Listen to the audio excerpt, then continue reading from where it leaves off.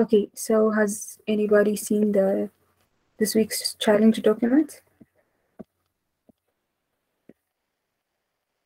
So maybe if someone could brief us on this week's challenge to get us started, that would be nice. So who would like to volunteer? Yes, Joseph. Yes. This week we we worked uh, in order to be able to forecast sales for pharmaceutical pharmaceutical company.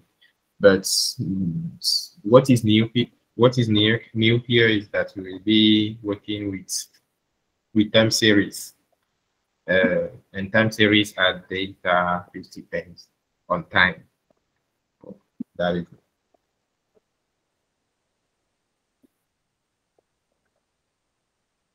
Yes. So yeah, that's correct. So anyone else?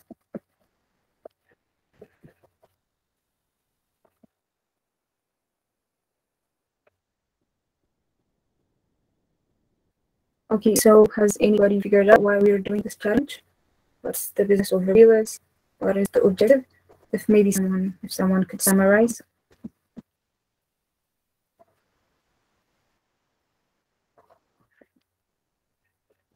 Yes, Mikhail.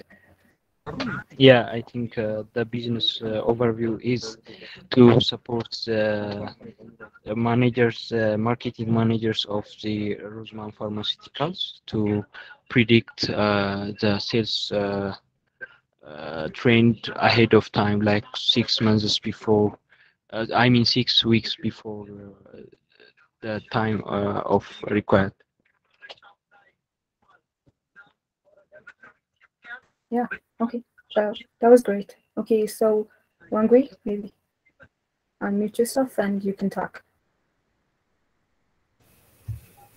Um, I think uh, what Michael said is correct. At least uh, that's also how I understood it. We're just trying to use the given factors like the promotion, the new store openings, how they affect purchasing power of customers in six weeks. Yeah.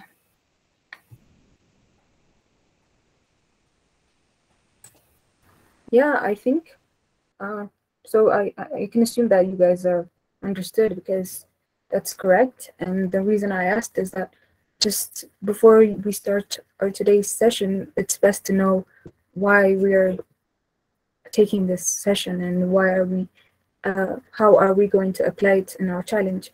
And it's good to start with your understanding because it's going to help you decide on and have a clear uh, paths to solving your weekly challenge. And uh, so, for example, in the submissions, we've asked you guys the, your business understanding in a summary, and uh, most of you have not done that. And it's best to always start with that and to have a clear understanding of what what the challenge is and what the business requires. So, so I think you guys have understood.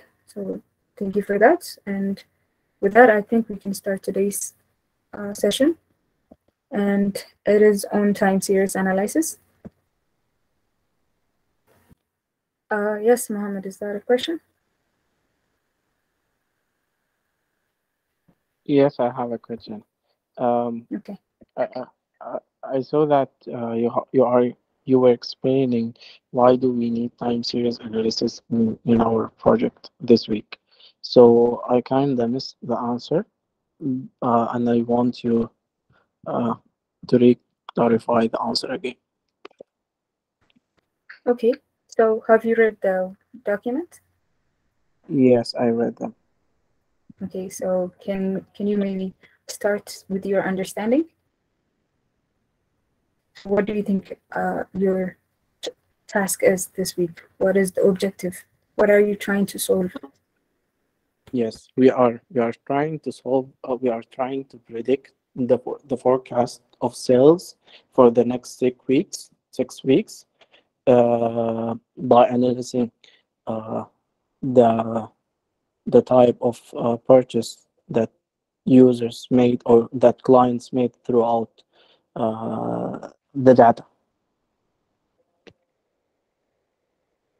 Yeah, so I think you basically an answered your question. So we're trying to forecast uh, the sales in in a six months, and we use time series to have this forecast and to help us with our understanding. So, so that is why we use time series analysis. And as we go more into the session, maybe that would be more clear for you. And I think you've already understood the concept.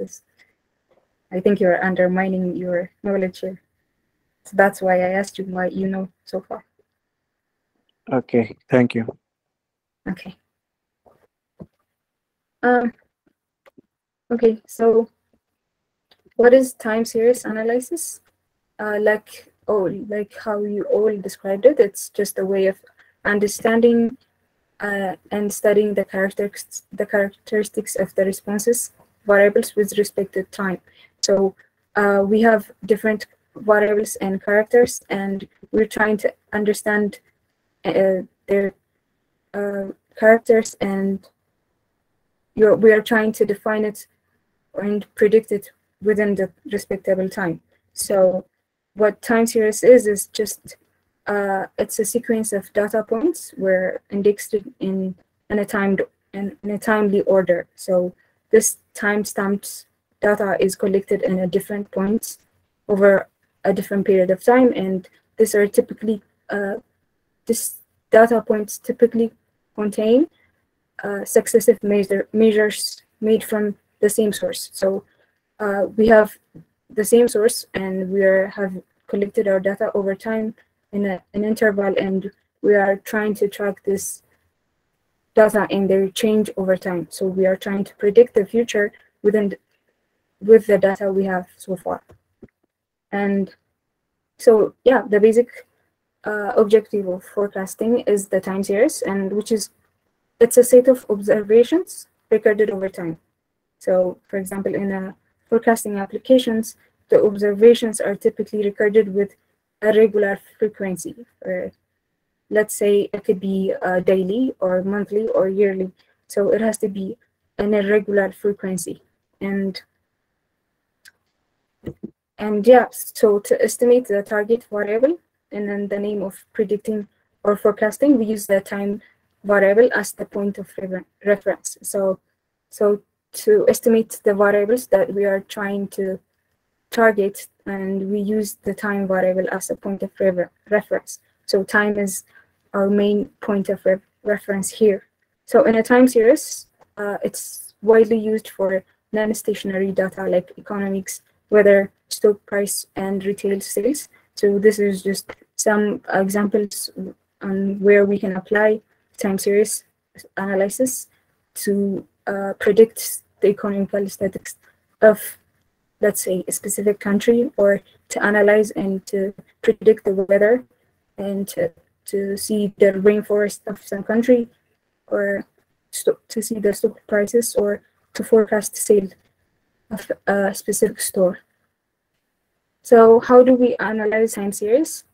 So first we start with collecting data and cleaning it. So this is this always is this is always the first step, cleaning data and pre prepping data for the next uh, processes. So we visualize this data and uh, we try to analyze and have insights gained from this uh, data that we visualized. And we, we, we usually visual, visualize it with respect to time. So we have we always have time uh, as a point and we visualize it with respect to time versus the key feature we are trying to predict. So, uh, and after this visualization, we observe the stationary of the series. So we look at the visualization and we decide if our data is actually stationary or non-stationary, and we observe this series and we develop charts to understand its nature.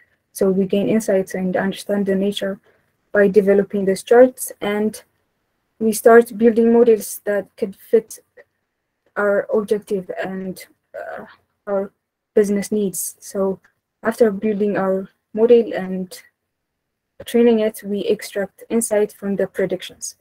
So that is the basic uh, steps we follow in analyzing time series data. So what are the significance of time series?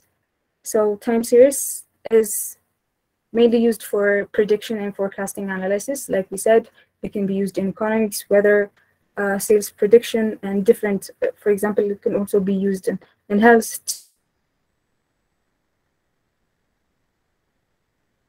to predict the heart beating of a person or some parents. And so specific to the time-based problem statement. So we have, like we said, time as a point of reference. And it includes analyzing the history, historical data sets and its patterns. So we understand and we see the patterns of our data sets.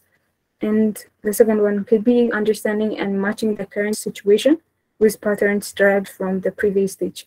Yeah, so we used um, the previous uh, data or the previous stage pattern to understand and predict what our current situation could be or to try and match the current situation. And the third, the third one is to understand the factors or that influence a certain variable in different period. So we might have different uh, factors within the specific time that are affecting our variables and we have uh, it can help us time series analysis can help us understand which factors affect the other certain variables and uh, in a at a, in a defined time or in some period. So what are the components of time series? Um, so we have different components of time series and the various reasons or the forces which affect the value of our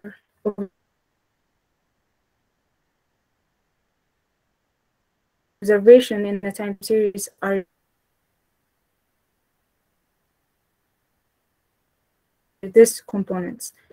Uh, so it could be a trend, it could be seasonality, or it could be cyclic or regular, given continuous or time in, in a, continuous time. So it could be uh, so here a trend would be it could be positive or negative, and it's a component of time series, and it represents uh, persistence or a long a long-term change in the mean of the series, and uh, it's actually the slowest moving part of the series, and it represents over a large a large time scale of importance. And the second one is seasonality. Here, uh, it's a regular or fixed interval, and it shifts within the data sets in a continuous timeline. So it could be uh, cyclic or it could be curved. So we say that to say that a time series is seasonal, uh, it has to exhibit irregularity over a period and change the mean of the series. So seasonal changes are generally fo followed uh, a clock or a calendar, or it could be a month. So we might have ho holidays or over uh, a repetition of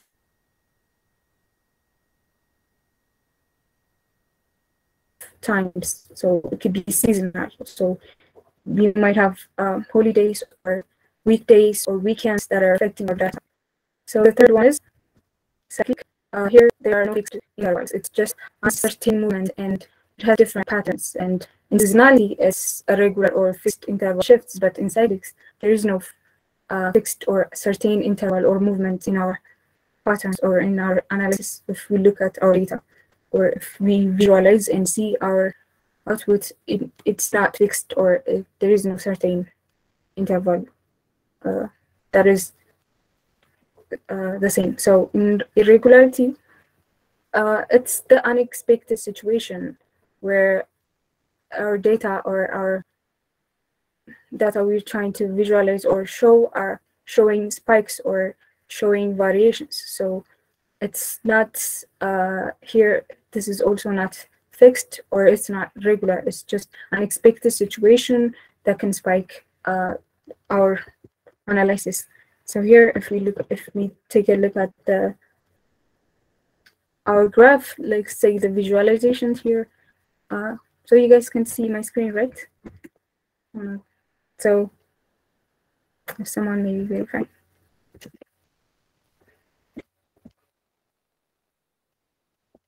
Yes, okay.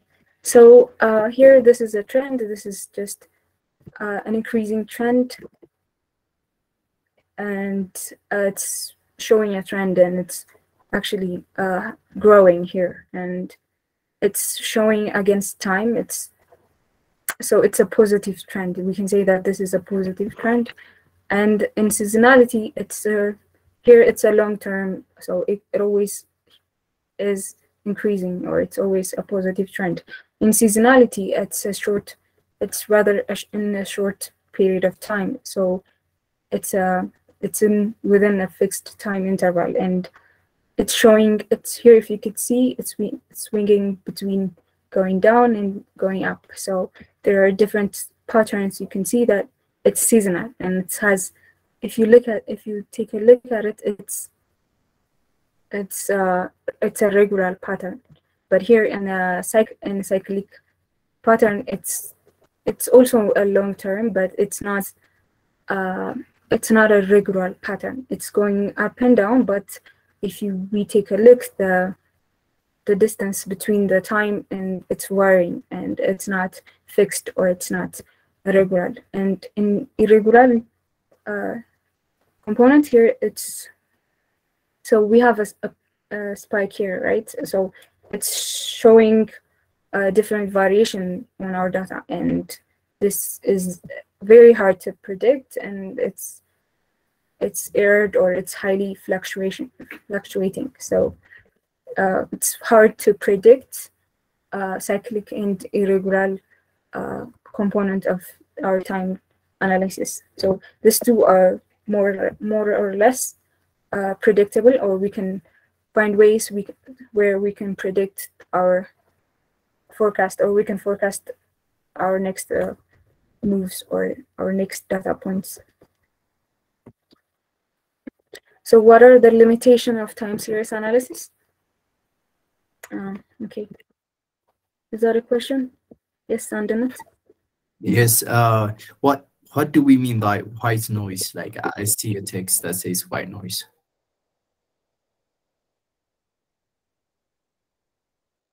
Yeah, in irregularity section, market model.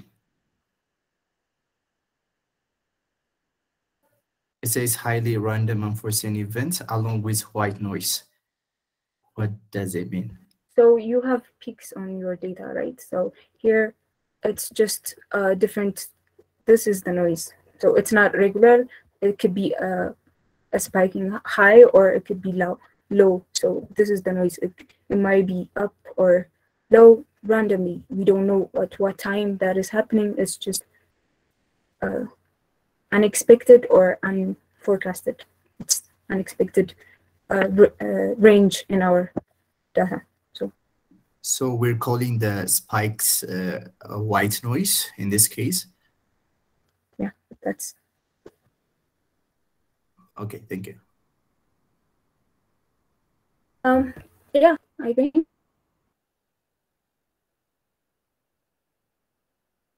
we could do that. So if you have a range in or unforeseen things that could be missed. Okay, do we have another question? Okay. okay, so what are the limitations of time series? Uh, so we have to consider those things when we are working on or when we are conducting the time series analysis. Has that the that or it has to be similar to other models or the missing values are not supported. So as you've done in your previous tasks, you always have to clean out the missing data and here it's also the same. So it's not, you have to uh, handle or find ways to uh, fix the missing values. And the data points must be linear and it always has to be a linear data point. So it has to be, for example, if the time is it has to be a linear and in their relationship. And data transformations are mandatory so we have to transform our data.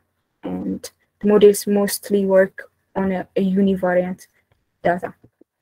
So data type of time series. Uh, do we have a question? Yes. Uh, Okay. in the previous slide, could you back to the previous slide? Uh, yes, uh, in the point number two, um, the data points must be linear in the relationship. So uh, by that, do you mean that uh, the time uh, variable or the feature variable should be constant, uh, should be linear in the relationship?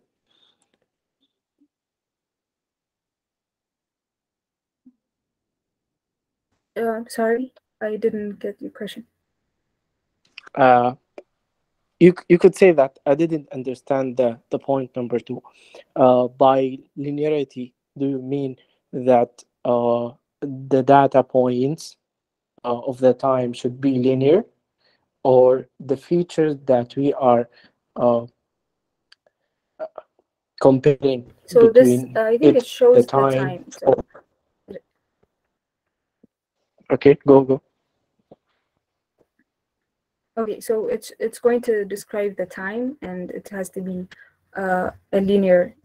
So our t- our data point, which is uh, at a specific time, has to be linear in the relationship with the other uh, features as well.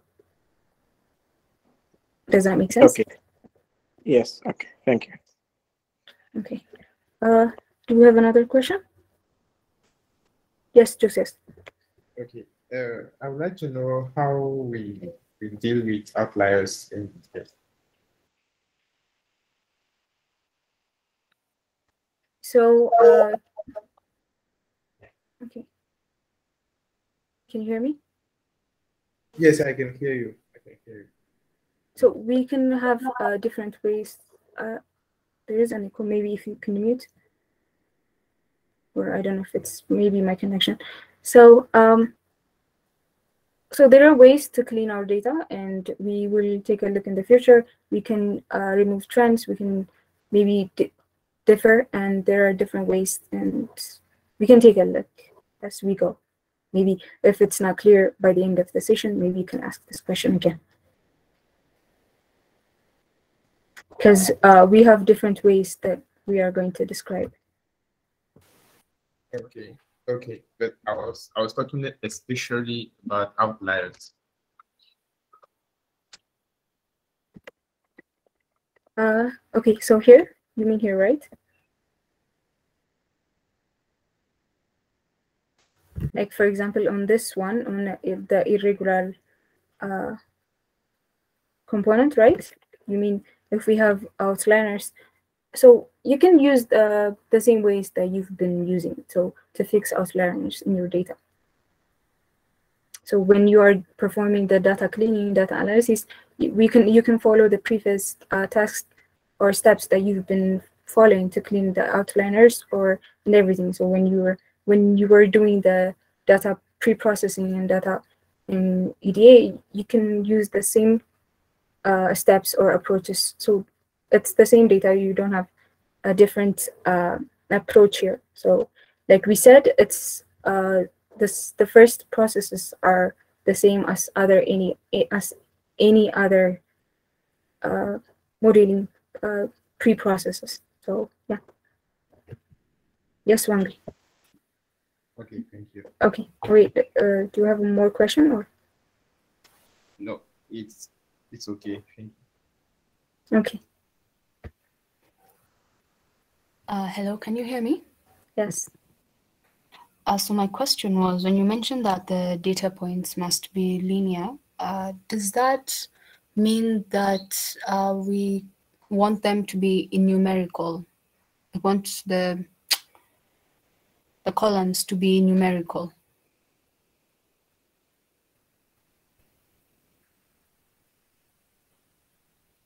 Uh, what I don't. Uh, what do you mean? Like if it was a categorical variable, um, does that mean we want to change it to become a numerical variable so that we can get like a linear relationship between that and another column?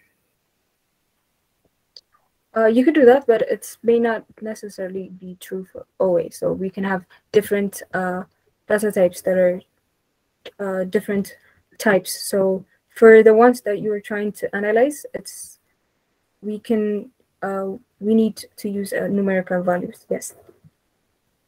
Okay. Thank you. Okay. Yes, Sandana.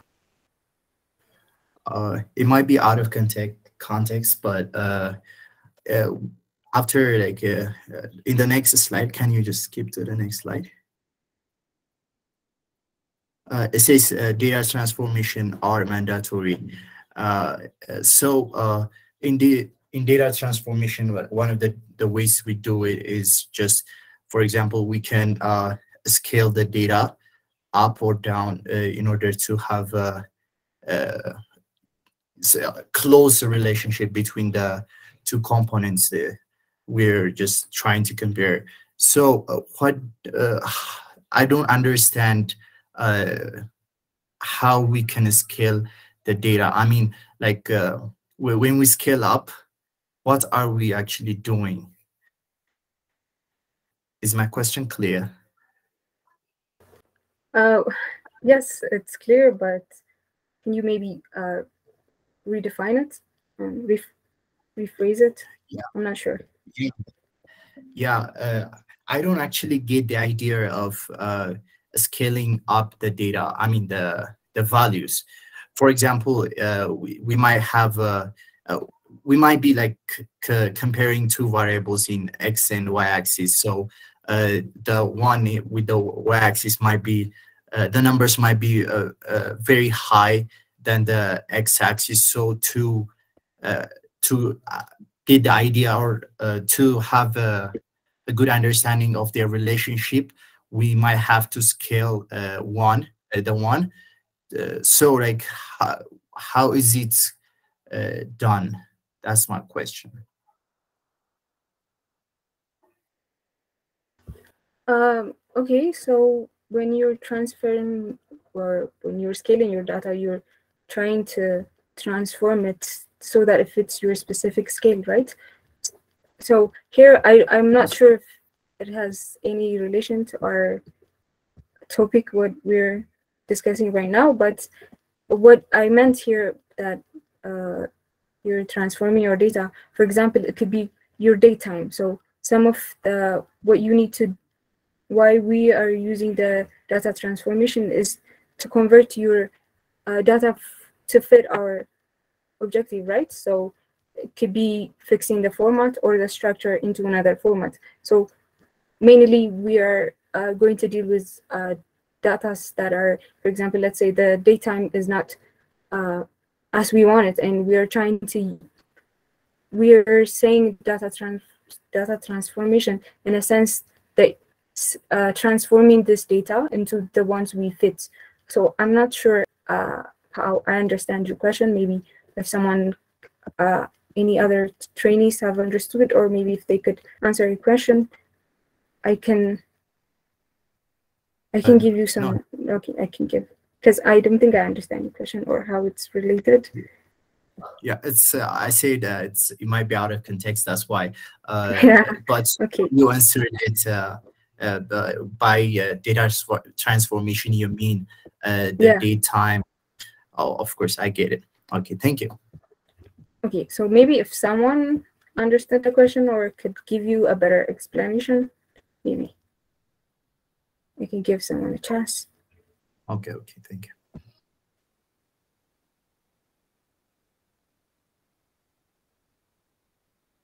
Okay.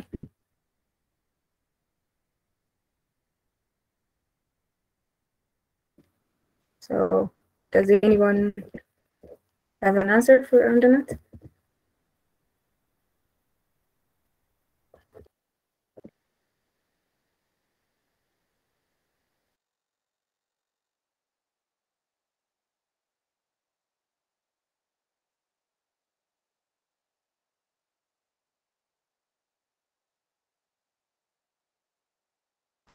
Okay, sorry, I went. So there are two types of data in a time series. Uh, our data could be stationary or non-stationary. And in a stationary, the data set should follow uh, the best, this rules. This is the mean, we have three guidelines that we should follow if to say that our data set is stationary. and uh, it should not have a trend or should should should not be seasonal or cyclic or irregular or it should not have this component of the time series. And um, so the first one is the mean and the mean value of the item should be constant. And so if even if our data is varying we should have uh, our mean to be consistent or more or less the same to say that our uh, data set is stationary. And we should have the variance should be constant with the respect of the time frame.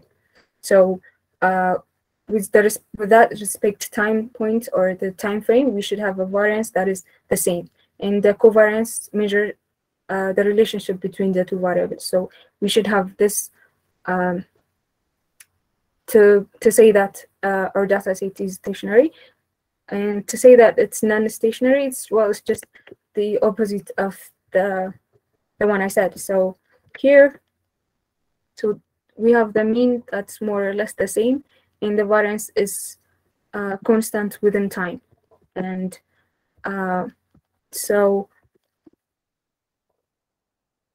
uh, so the variance is just the distance between the mean and we can see that it's constant. It, it might be changing over time but it's constant over the time. So and uh, the co the covariance covariance okay the covariance is the difference between the spreads of the time. It's time dependent or it's time independent i mean. And in non-stationary the mean is increasing and so this might be uh, the average value or the mean value is always increasing and it's not constant if you can see. And the variance is varying within time and it's not it's not the same or it's not cons constant. And here the covariance as the time increases uh, the spreads are the spreads are getting much closer so it's hard to say that this is a, a stationary data or data set so there are different methods to check the stationarity stational. We have, we have, mm, okay. Is that a question? Yes.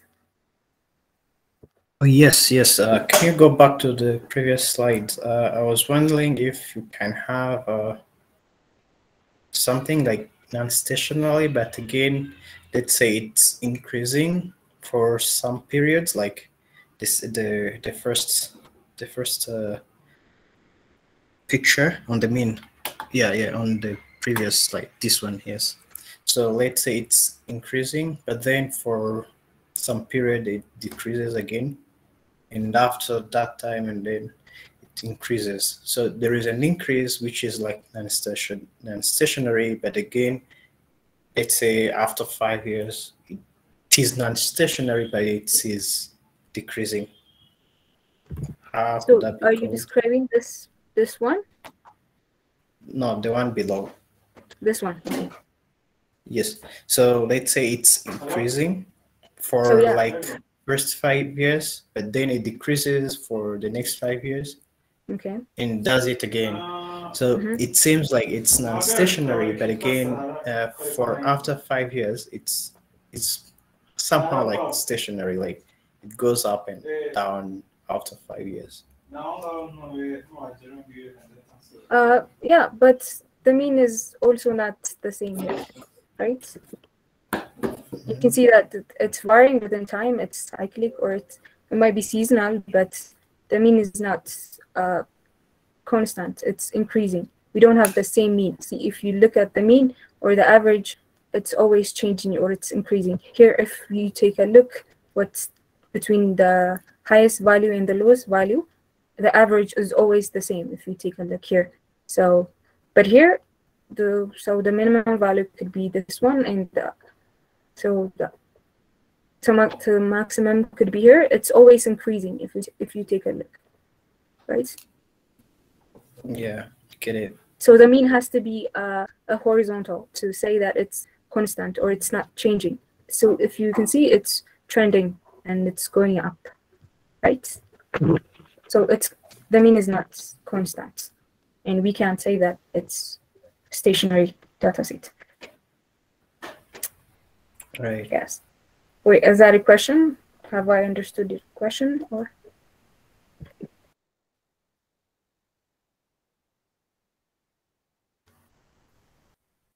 Okay. Okay, so okay, yeah, so we have different methods to check that uh, our data set is stationary. And uh, during our time series analysis model preparation workflow, we must access if the given data set is stationary or not. So we have to be sure that we, our data is stationary before uh, uh, actually using it on our model. And we cannot use stat. Uh, we have to make sure that we're not using statistical and plot tests. So there are two statistical tests available to test if a data set is stationary or not. So we have ADF test, that's mostly popular test, and it has two uh, approaches. It has two uh, statements that are assuming in uh, so the null hypothesis. It's where the series is non-stationary. So in the alternative hypothesis, the one that you are we are trying to prove the null hypothesis is not right, is the series is stationary. So if the p-value is greater than the 0 0.05, then we can uh, say that the null hypothesis is true or we fail to reject the null hypothesis. And if it's the value is less or equal to the 0.05, then we can accept accept the alternative hypothesis and say that this series is a stationary series. And the second one is the KPSS, and it's used for testing null hypothesis that will perceive the time series as stationary, stationary around a deterministic trend against the alternative of a unit root. So since uh, it's uh, time series analysis is looking for a stationary data for analyzing, we have to make sure that the data set is always stationary. And so when we are converting this non-stationary data, if we have proved that, um, if we have failed to reject the null hypothesis and see that we have a non-stationary data in our, so if we have a non-stationary data, then we we can convert it to stationary data by using uh, two methods that are detrending and differencing. So the first one involves removing trends, uh, trend effects from a given data set and showing only the difference in values from the trend. So we can uh, we can uh, make it, it, we can allow it to cycle patterns to be identified. So uh, we, here we can remove the trend effects from the given data sets and show that show the only the difference, the different values from the trend. And in differencing, uh, it's a simple transformation of the series.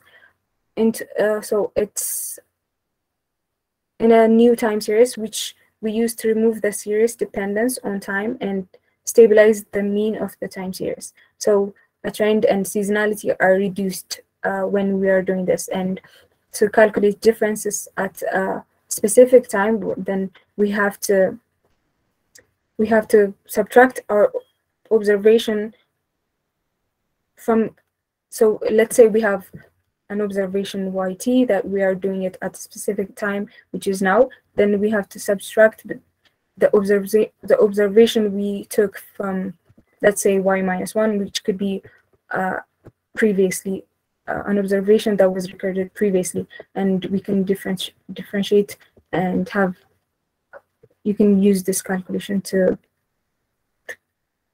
yeah, so uh, so let's say this is a non-stationary data process, and after uh, detrending and after using the approaches, and we have, we can say that remove after removing the after removing the trend effects, we can maybe uh, visualize it to be to look like this, and we can have this outputs after the detrending and after differencing. This this could be our outputs. So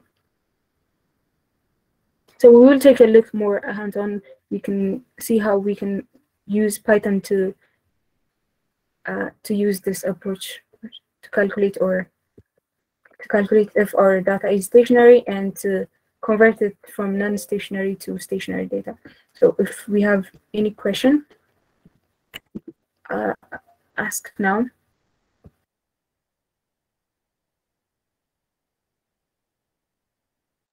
Yes. Yes, it's, Uh, so when you transform that to stationary data after uh, doing machine learning or prediction, won't you have to turn the data back to how it was before? And how does that be done if that's the case? so, so before feeding uh, this data to our model, we have to make it stationary first. You don't need to worry about turning it back to non-stationary or to the previous uh, state. So we, what you need to do is you, you follow the steps and make our non make your non-stationary data and make it stationary to feed into your model. So you, you don't have to go back and All right. okay. Yes, Antoinette.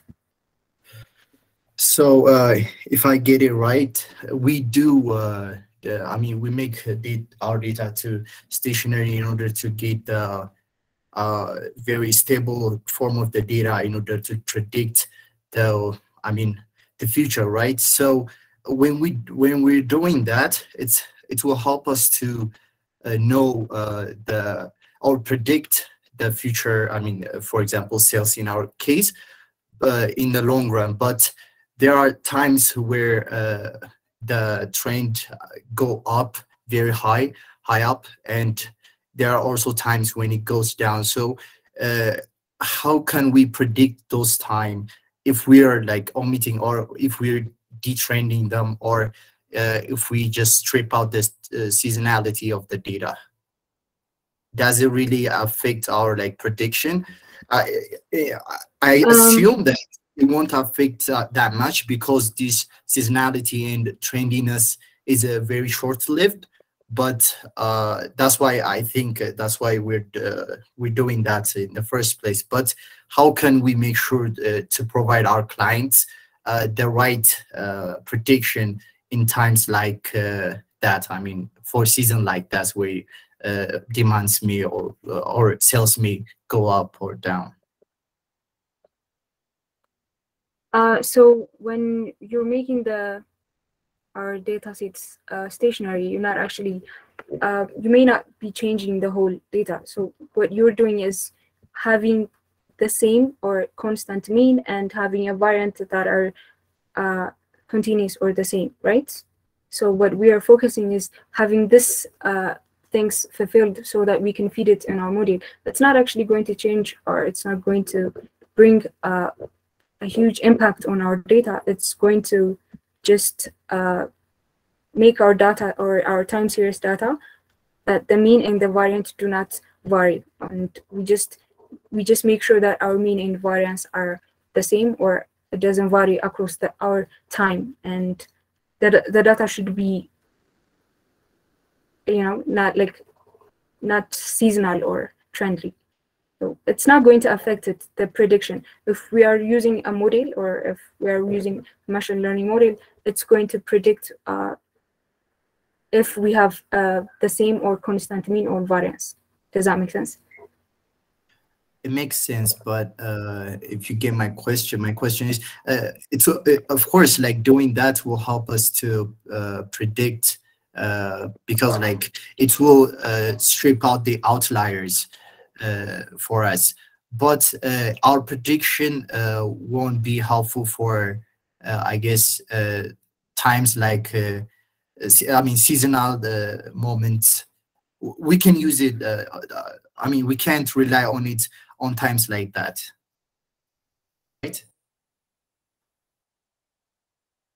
Yeah, of course. Uh, I mean, it's harder to predict this kind of things. So So mainly we're just predicting for other times other than like the times where it goes up or down, right? yeah, so in order to uh, predict, then we have to have uh, I don't know. Uh, we don't need to have a trend or seasonality in our data.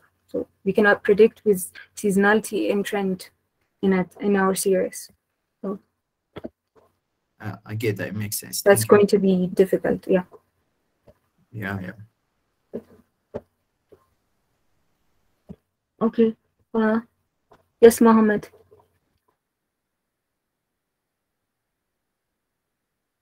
question is where where do we need TSA? Uh, is it in our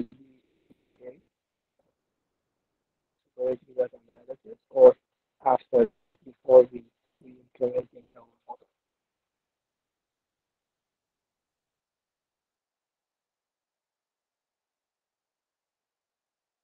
Uh, I'm sorry, Mohammed. I was not able to hear that. Maybe if you could speak into the mic, your voice is just far.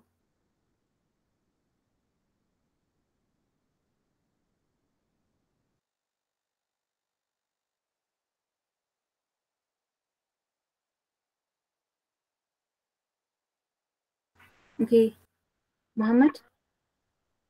Yes, can you hear me? Yes, we can hear you now. So uh, my question was, where do we need to do TSA? Is it uh, within EDA or after it when we're deploying uh, or before we deploying our machine learning algorithm? So time series analysis, uh, so TSA is time series analysis, and it's the whole process where after you have prepared your data, and after you have collected and done the EDA, you uh, we have different type of models that are used to calculate or to see to, to use in our analysis. So we used timed series or data sets to. So it's the whole process basically after the uh, after you've done the data cleaning and data preparation, we use different models to, to, to perform our data analysis process.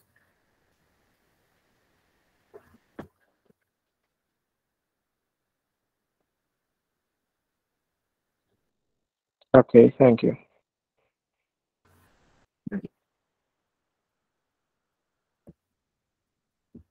Okay, uh, yes, Samdork. Okay, thank you.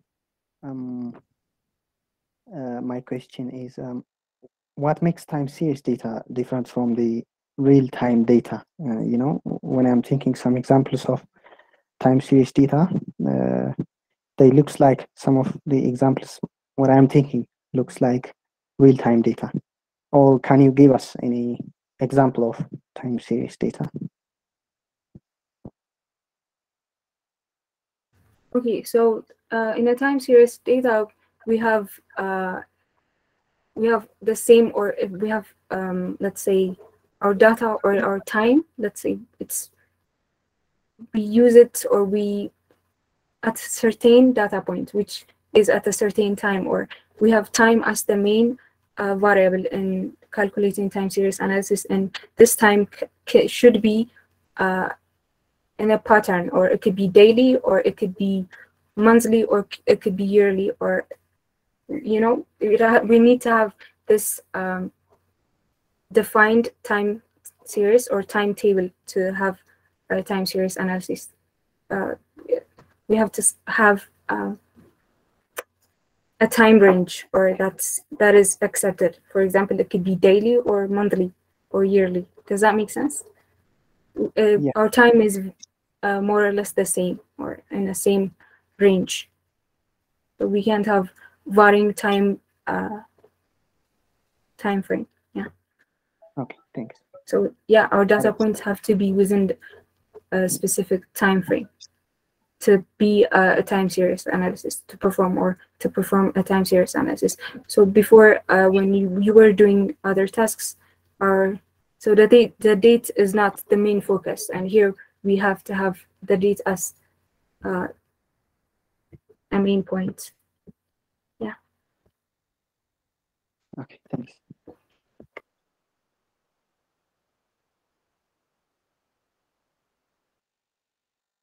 Okay. Do we have any more questions?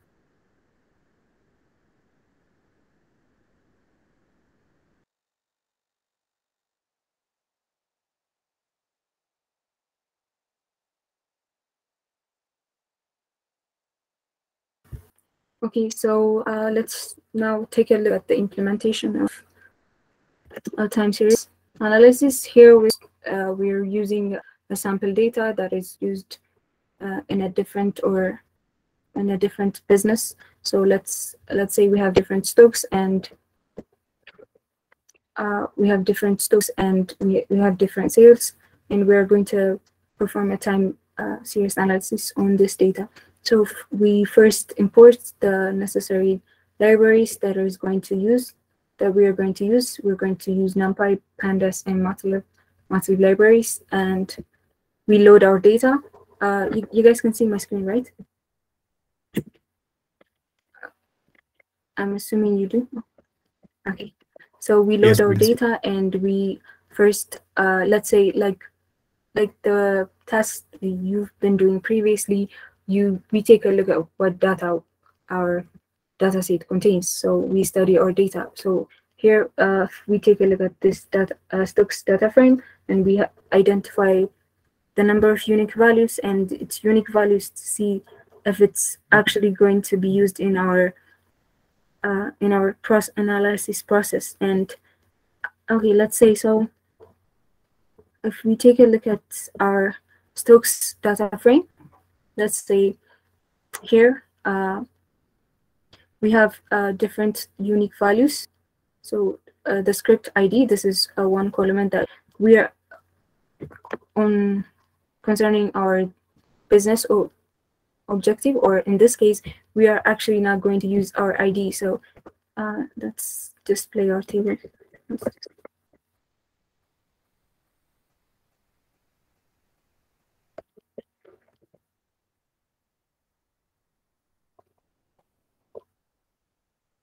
Okay. We have announced the drive, I guess. Oh, yeah.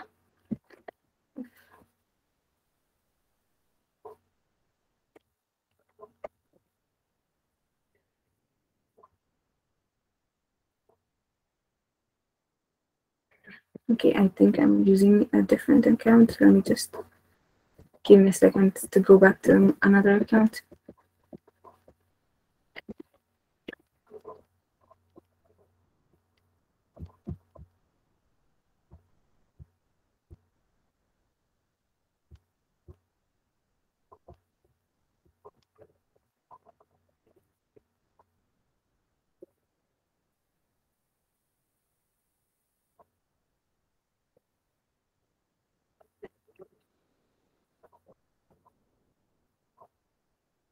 Okay, uh,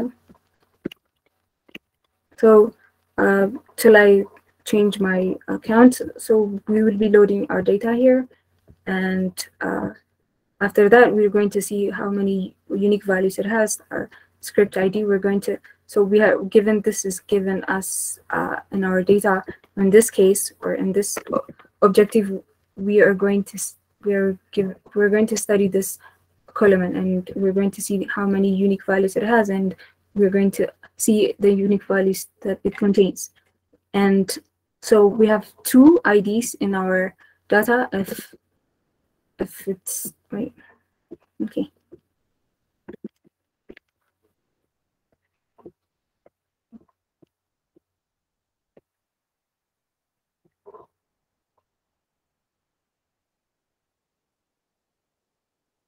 okay right you can see my screen right? So I was using a different account and that's it was not getting this file that's why.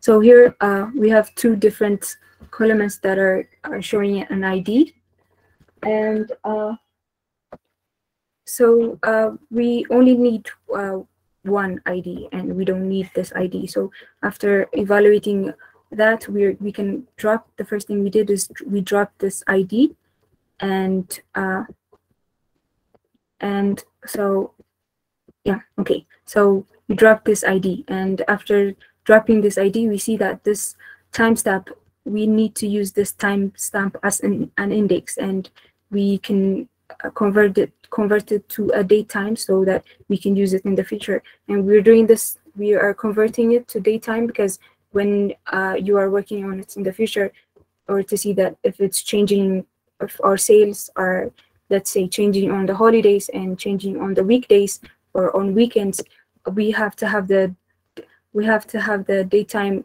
uh, we have to have the timestamp converted to datetime. And after doing that uh, let's say let's read the second here we read the second value or the second data which is the stock data. And we are going to so we are what we are going to do is we are going to merge this two data and uh, so we use uh, the script ID, this this column. This so basically we can see that uh, before dropping uh, here, so the ID and the script ID can can be seen uh, so the same. So we can use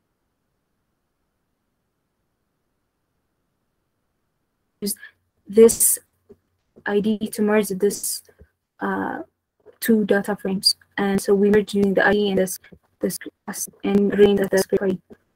And so yeah, so uh, so you guys, you guys have this uh, notebook on your drive, so you guys can access. We have a different uh, data set, and we have a different business objective that we are trying to prove here. So um, after we merge the after we've merged this uh, the stocks and uh, this data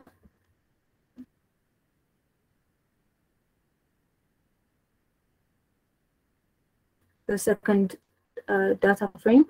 Uh, okay, here what we are going to do is we're going to drop some comments that we're not going to use. So again, uh, we're not going to be using this one since we have since we already are going to be using the script ID uh, to continue. And so we drop this. So this is just a normal uh, data pr processing. again, we okay. So this is a dropped uh, the dropped column and this is the time the timestamp data frame. So the difference between these two time frame data frames are here in the timestamp data frame, we have used the timestamp as an index. Uh, we used it in here in the merge data frame, we have we're not using timestamp as our index. And the difference between the two is that the yeah, the index as a timestamp. So yeah. Uh, okay, so what we're going to do uh, is that we, so in the, in our merge data frame, we take a look at the, so here, what our business view is that we are asked to, to look at this specific stocks that this, the names that are this values. So we have five values that our name should match and we are going to study the analysis or that we're going to perform time series analysis on this specific rows. So that is why we are displaying the, the names here, just to get which data are, uh, are given uh, specific stocks. So after getting the rows, uh, we merge this, uh, we create a merge and we merge the data frames uh, with the name, with the, the name as the main column. And after merging, we have, see, if you can see, we have the name merged and uh, so the first, uh, so this is only showing the head. So we have, we also have this other uh, four rows that are not displayed. And so, yeah, uh, so here we choose after the, so this is the main reason that we converted our timestamp into a date time that we're going to see, we're going to choose the months and you, we're going to uh, see uh, or specify the timestamps to to define if the time is on the holidays or to see that if on if it's on the weekdays or weekends. So here this is a function to choose on which the type of the month and so yeah this is the merge data frame and this is the unique values are here the name of the unique values we check that if we actually chose the a specific rows as to continue and we have named it as created merge data frame. And so here, if we check, yeah, our data is uh, only containing the name variables that are the this five ones that are given um, for us to study and to analyze. And so, um, so here uh, we have the price, uh, the high price, the low price, and the open price and the the closing price for our specific uh, rows or our specific stocks. And after after uh, we try to visualize and see that uh, the sales or the to see how it's actually separate separated within the months. So uh, we have separated out the month column from the timestamp so we can have more precise results. So we have uh, we have seen if you take a look that it's time it's monthly or weekly based. So uh, so we can see that the results in a more precise, so we can have more precise results. So for example, if I wish to observe a specific stock, let's say this Reliance stock, and observe its values under a particular month or a particular day per, uh, per month per se. So here, if we take, uh, if, we segregate the months from the timestamp, if you take a look, then it's segregated into a month. We can, we have a pandas library that's going to uh, segregate a, a month from the timestamp. So uh, now we have to visualize this particular stock and uh, we can use this, um, let's say this ID, this column, or this, uh, we can use the name. So if here, if we use, uh, mm, so the we're going to use the timestamp, the we have to identify which uh, specific columns or features we are going to use and after that, uh, after defining the specific columns that we're going to use in our analysis uh, process, and so we merge and we try to visualize our data. So when we visualize our data, we can see that it's a trend, right? Since it's going up and it's not, uh, so we can we can see that the mean may not be consistent from looking at the our visualization. So what this is what this does is going to uh, show the variations of NFT. This is a value through uh, throughout our observations. So it's going to show the stock price price within the month of uh, that's between April and September. So yeah, it's going to show between the April and September, and it shows that our after plotting our data, we can see that it's uh, it's a trendy. So it has a trendy uh, behavior. So uh, okay, so yeah, this is uh, we can see that it's trendy. And if we visualize our uh, variation NFT plotted against the timestamp, so this is a monthly var uh, variation. Here it's just from April to September, but here it's just a, general a general monthly uh, variation. So we can see that uh, this this is also trendy, but we can see that uh, it's seasonal, right? If we take a look, there are different uh, breakpoints here that so maybe in our case, it could be the start of the month where uh, our sales go down or uh, we have a different uh, values in our data sets. So for example, if let's say if this is, uh, let's assume that this is a weekly, so let's just assume this shows a weekly sales. And if we have this and let's, if this describes uh, maybe with the weekends, then we can see that uh, it's seasonal. So uh, within a different time, it, it's repeated and it has uh, a it has the same patterns or it has a pattern that we can see or we can describe. So, uh, so within the timestamp as an index, the graph has few continuous points in between. And this is because we have data of the days when stock market is open. So yeah, uh, so this shows uh, where the, the peak ones shows our data that is, so this is a stock market that it's when it's open. So for example, if we don't have uh, data for the weekends or any other holiday, uh, or even the market is closed. So when we plot this price against the index, and then it's a continuous value. Okay, so um, okay, this is uh, going to show the Reliance head that this we're going to use this stock name uh, chosen, and we're going to evaluate it's uh, over the time. So if we take a look here, uh, what this plot shows that it shows the variation of volumes of Reliance, Reliance stock under a period of time. So here, uh, so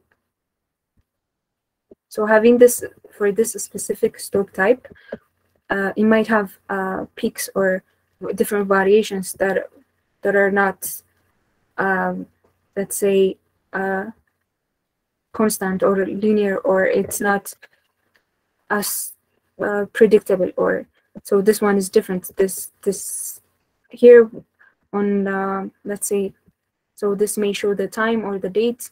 It, it might be a month. So what uh, we're just using here is uh, let's say okay so so this is the volume against the the time. So uh, so if we choose a specific month maybe this is the month of August then we might have a peak on one of the days. This might be in our case in our sales uh, we might have had a promotion and we might have a sale a promotion for a sale and we might have more sale or more customers drawn into our business. And here this uh, when concerning this stock market this might be where we had a peak in our uh, sales so after uh, seeing that uh, our data is not uh, linear or it's, it's not uh, the same so um, okay. So okay this variation so shows that the throughputs of our of our observation. So we can see that this is also trending.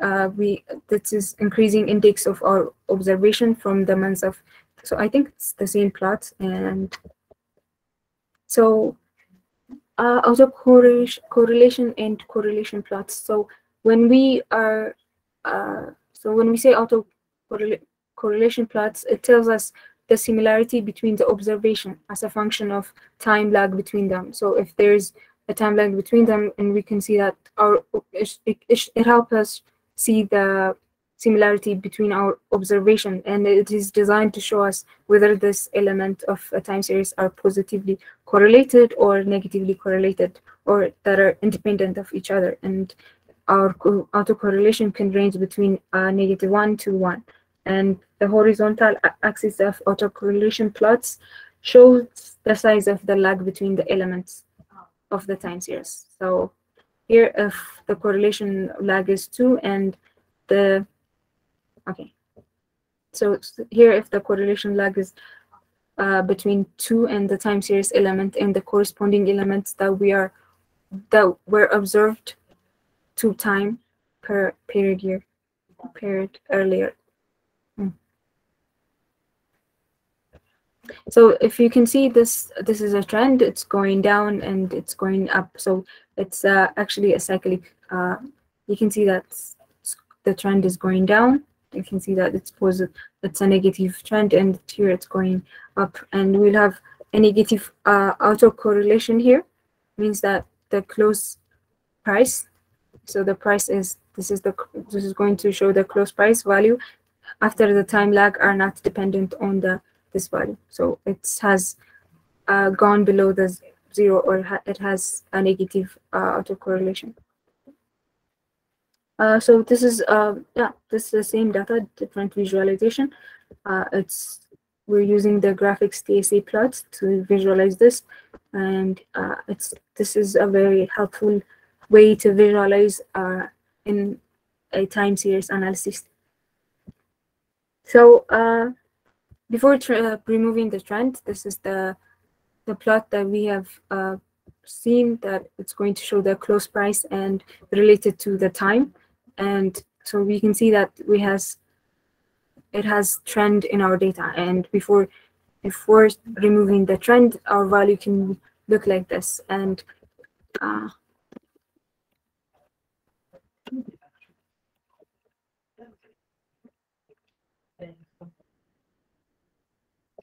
okay yes is that a question yes, sorry to interrupt, but uh, in the previous uh, graph I saw in the x-axis there is a lag. What do we mean by lag here? Uh, here. Scroll up. Uh... So this, the lags are going to be. Oh, uh, yeah, there. Oh, wait, let me just so when you are plotting a, a graphics TSA plot, uh, it's one of the features that you are going to verify. And let me just, I actually, to verify, I'm just going to check.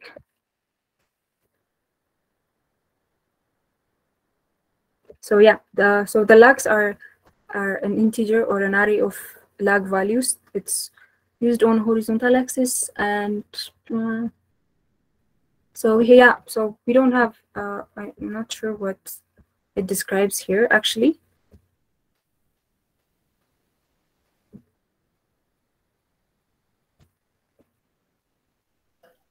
It's okay. I'm going to. Okay, so yeah, I'll, I'll get back to you. I'll look it up and I'll get back to you on this. So on this one, so it's we use it to to to visualize the graphic TSA plot. So that's okay. So uh, so this is the visualization visualization before removing the trends, and it's going to look like this after removing the trends. And to remove the trends, uh, there are different. Okay, there we go.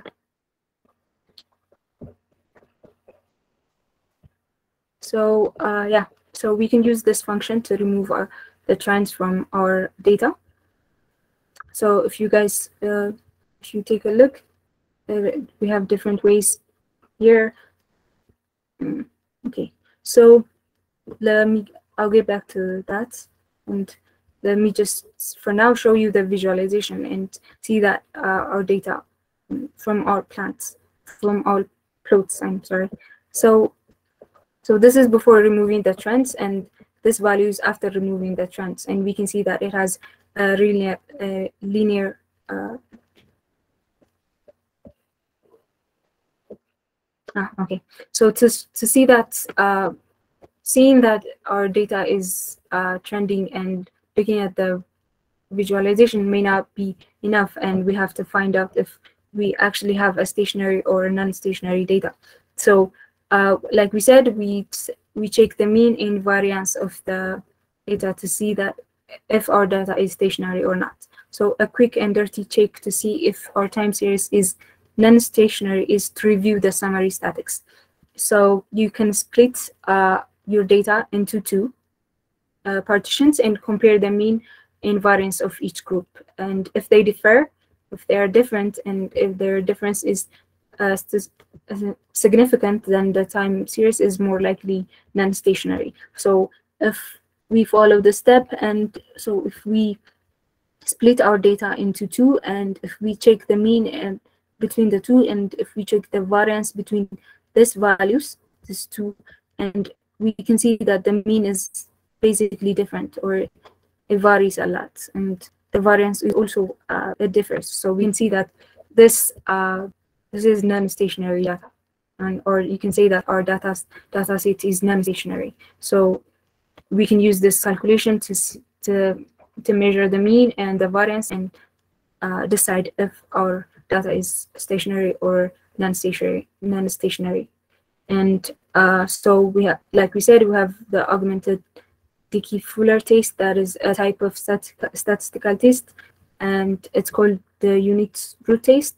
So the intuition the in institution behind a root a unit root test is that it, it determines how strongly a time series is defined by a trend and there are a number of tests and augmented Dickey-Fuller may be one of them that's wisely used. And so this is the the way we calculate uh, and see the if we have a p-value and we have the mean and variance. So like we said before, if we have a p-value that's greater than greater than 0.05, then we uh, we rejected the null hypothesis, right? So we can say so our null hypothesis being our data is uh, stationary, non-stationary, and our uh, and the data being stationary is what we are trying to prove. And if our p-value is greater than 0.05, then we, this data is non-stationary. And after removing our trend from our from our non-stationary data here, if you take a look, uh, so if we follow this step here, the above, uh,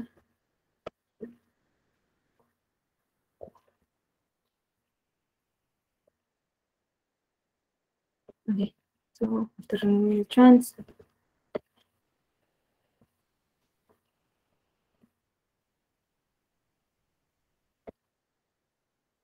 So here, uh, after removing the trends, uh, we can see that um, after following the steps that uh, we can see that the p-value is has decreased to zero, which means it's way less than 0.05. So we uh, we reject the null hypothesis and say that this is a statistical, uh, a, a linear data, or and we can if we get a, a linear data or we can feed this to our model and uh, start training our data.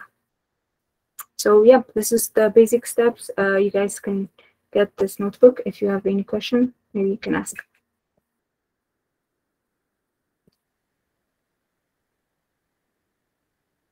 Okay, so Andanat has answered the last question. So it's a fixed amount of passing time. Oh, okay. Um, yeah, okay, thank you, Andanat, for your answer and clarification. Okay. okay. So do we have any question? I see that we have way past our time. Okay. Uh, so you guys can find this notebook attached in the drive. And thank you for your time. If you have any more questions, you can ask on Slack. Thank you, everyone.